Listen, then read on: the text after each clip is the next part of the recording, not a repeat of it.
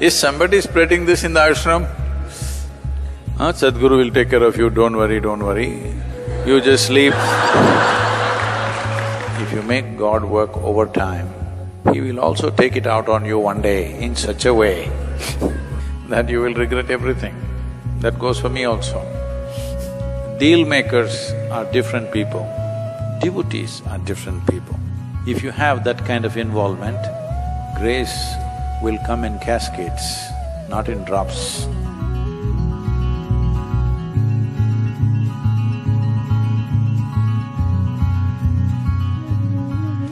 Devotion does not mean Devi will do it, Sadhguru will do it. Who… who told you this rubbish? Is somebody spreading this in the ashram? Huh? Sadhguru will take care of you, don't worry, don't worry. You just sleep, Sadhguru will wake up and do your sadhana.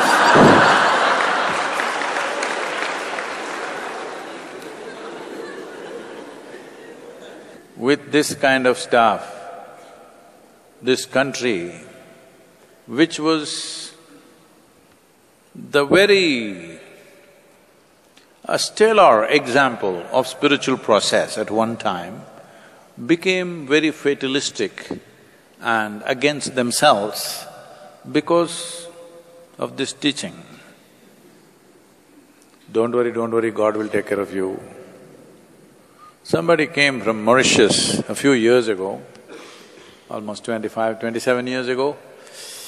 So, uh, these are Tamil people who went there three generations ago.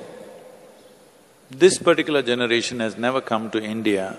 Now they're running some industry and they're doing very well to do and all that. Now they decided to come back to Tamil Nadu to experience their roots. Still they speak their own kind of Tamil.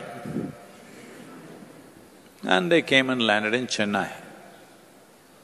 And uh, from there, uh, they went to a few temples and they're driving back to Coimbatore from Chennai.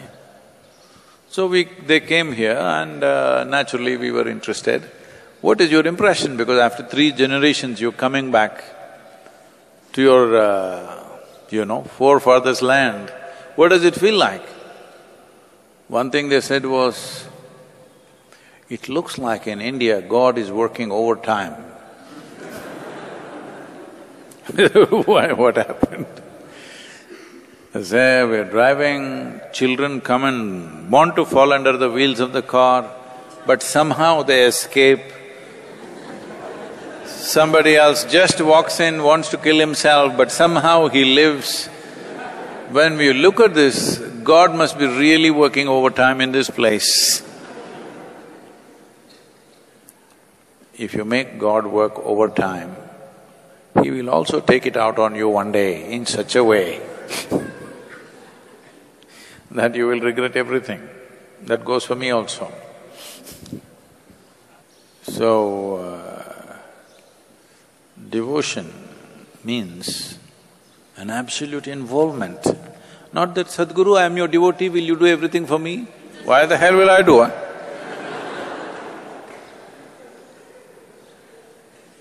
Devotion means absolute involvement from your side. Where there is no involvement, you will do something socially correct. Some of you don't even do that, but most people do something that they think is their courtesy or their duty to do something, just about that. But only when you have a very deep sense of love or devotion towards something, you will do everything that you can do. I'm saying, in every moment of your life, if you're not doing everything that you can do, what are you saving yourself for? You want to work from your grave? Hello? Now people these days uh, working from their home, so I'm asking you,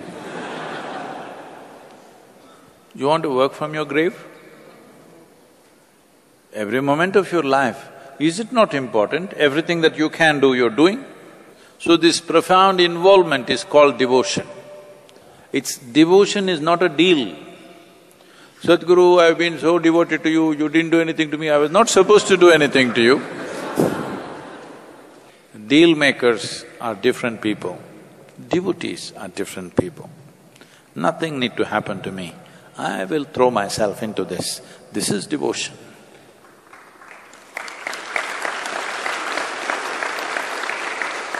Just, just this freedom from expectation, what should come to me? What will I get? If you just become free from that, your life is a blessed life, just know this. If you just become free from this one thing, what will I get? Your life is a very blessed life. This is what we are trying to demonstrate in Isha, that thousands of people simply working like fanatics. From outside, they look like that, but they're at ease. They close their eyes. Okay, world doesn't exist. Yes. And only miracle they have achieved in their life is, what will I get has gone out of their mind. This is all you have to do. Devotion means just this. You are liberated from the pain of expectation. What should happen, what should happen? Whatever happens, I'm fine only. Which is better? What you want happened, is that better? Whatever happens, you're fine. That is that better? That's all. But once you're like this, once you have… you are not a vested interest of any kind, you will do your best and that's all a human being can do. And once you're not concerned what will you get, you become available to grace. But you don't calculate, Sadhguru, for three minutes I did not think what will I get, how much grace will I get?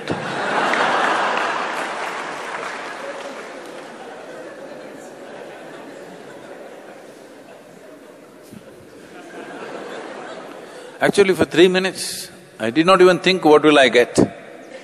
I just did the work, how much grace will I get? You belong to the marketplace, you don't belong to this life. In this life, there is nothing to get. Whichever way, whether somebody gives you a decent burial or they just throw you, anyway you will become part of the earth. Hello? What's the problem? Somebody gave us a grand funeral, okay? Somebody just threw our body out there, what's the big deal? I'm asking. Whichever way, anyway you're part of this, if you show that involvement, that you are a part of everything that's here,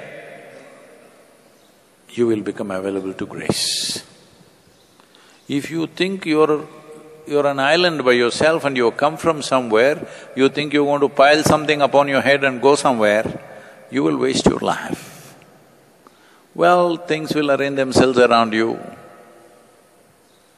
If you're doing something significant in your life, things will arrange themselves around you, some amount of comfort and this will come. But what is it that you're seeking? Are you seeking fulfillment or comfort? This you must decide. If you're seeking fulfillment of life, then it needs involvement. Devotion means just unquestioned unbridled involvement, that's all devotion is. Absolute involvement, not holding back anything.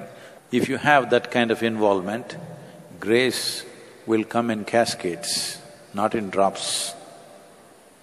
Once you are graced like that, your life will be fulfilled. In which way, how, you don't have to calculate.